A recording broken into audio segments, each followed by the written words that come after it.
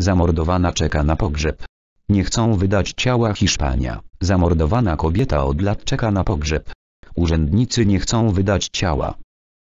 Urzędnicy wymiaru sprawiedliwości Hiszpanii od blisko trzech lat blokują pochówek kobiety zabitej w Saragossie, w północno-wschodniej części kraju. Jej rodzina nie może zorganizować pogrzebu, gdyż wymiar sprawiedliwości, jak twierdzą jego urzędnicy, nie zakończył jeszcze procesu sądowego. Władze lokalnego zakładu medycyny sądowej, jak przypomniał dziennik Heraldo, argumentują swoją decyzję regularną odmową wydania ciała przez sąd. Ten tymczasem twierdzi, że zwłoki Marii i Marian będą mogły zostać oddane rodzinie dopiero po zakończeniu dochodzenia w sprawie związanej z zabójstwem kobiety.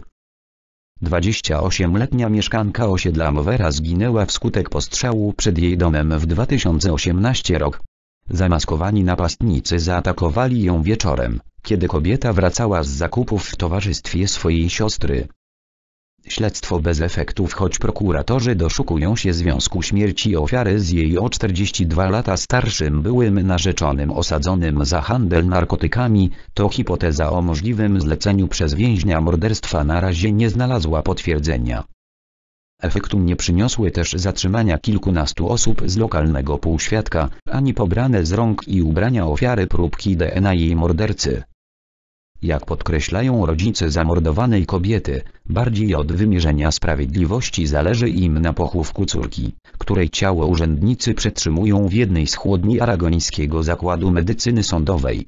Opieszałości i biurokrację pracowników regionalnego wymiaru sprawiedliwości w rozmowie z lokalnymi mediami kwitują słowem patologia.